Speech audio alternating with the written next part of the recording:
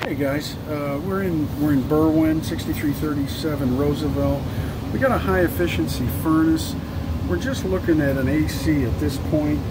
Uh, this is uh, what size filter do you use on that?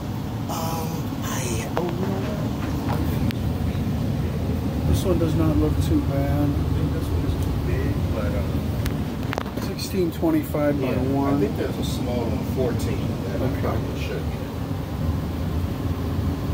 This is an AC only. This would be a Trane unit. So is that, So,